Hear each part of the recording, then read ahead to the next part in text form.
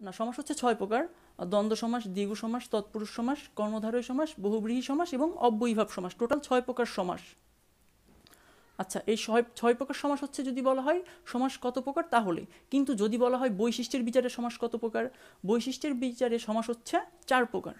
বৈশি কেননা এক্ষেত্রে কিছুটা মানে পদের প্রাধান্যের উপর ভিত্তি করে এটাকে ভাগ করা হয়েছে। অর্থাৎ এক একবার পূর্বপদ এক একবার পরপদ এক একবার কোনোটাই পাবে না, আবার কোনো কোনো ক্ষেত্রে ডাবল দুইটাই পেয়ে যাবে প্রাধান্য। অর্থাৎ পূর্ব পূর্বপদ যে ক্ষেত্রে প্রাধান্য পাবে পূর্বপদ এবং পরপদ আমাদেরকে দুইটা মনে রাখতে হবে। যে ক্ষেত্রে পূর্বপদ এটাকে আমরা পূর্বপদ ধরি। পূর্বপদ প্রাধান্য পেলে সেটা হচ্ছে অব্যয়ীভাব সমাস। আমাদের প্রথম লাইনটা দেখছি আমরা। বৈশিষ্ট্যের বিচারে সমাস চার প্রকার।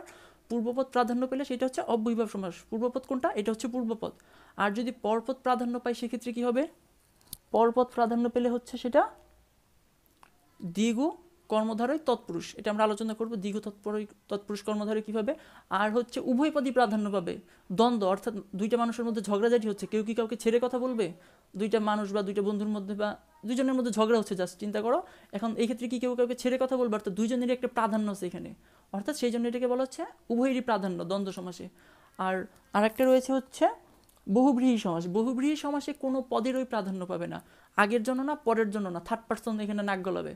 অর্থাৎ দুইটা মানুষের মধ্যে ঝগড়া হইতেছে। এখন থার্ড পার্সন এসে সে নাক গলানো শুরু করে দিল। ব্যাপারটা অনেকটা এরকম। এটা হচ্ছে বহুব্রীহি সমাস যেখানে কোনোটাই প্রাধান্য পাবে না। সো এই কারণে বৈশিষ্ট্যের বিচারে আসলে সমাস চার প্রকার। এটা আমরা একটা স্লাইডের মাধ্যমে দেখব।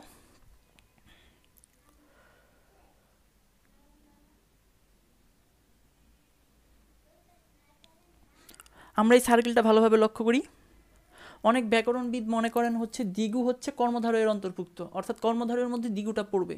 তাহলে দিগুটা খুব সংক্ষিপ্ত। দিগুটা পড়ছে কর্মধারয়ের মধ্যে। আবার কর্মধারয়কে অনেকে মনে করে থাকেন তৎপুরুষের অন্তর্ভুক্ত। অর্থাৎ দিগুটা চলে যাচ্ছে কর্মধারয়ের পেটে। আবার কর্মধারয় চলে যাচ্ছে তৎপুরুষের পেটে। আল আলটিমেটলি কিন্তু দুইটা কমে যাচ্ছে। এই জন্যই বৈশিষ্ট্যের বিচারে সমাজ চার প্রকার বলা হয়ে থাকে। এই সার্কেলটা মনে রাখতে পারলে আমরা অনেক কিছু মনে রাখতে পারব। এখানে দেখা যাচ্ছে পরপত্র প্রাধান্য পাচ্ছে। আমরা ওইভাবে মনে রাখতে পারি দ্বিগুত কর্মধারয় তৎপুরুষে পরপদের প্রাধান্য পায়। অর্থাৎ ব্যাকরণবিদরা মনে করেন এ এর মধ্যে পড়ে, আবার এ এর মধ্যে পড়ে। সো আলটিমেটলি দুইটা জিনিস কমে যাচ্ছে। আর যদি নর্মালি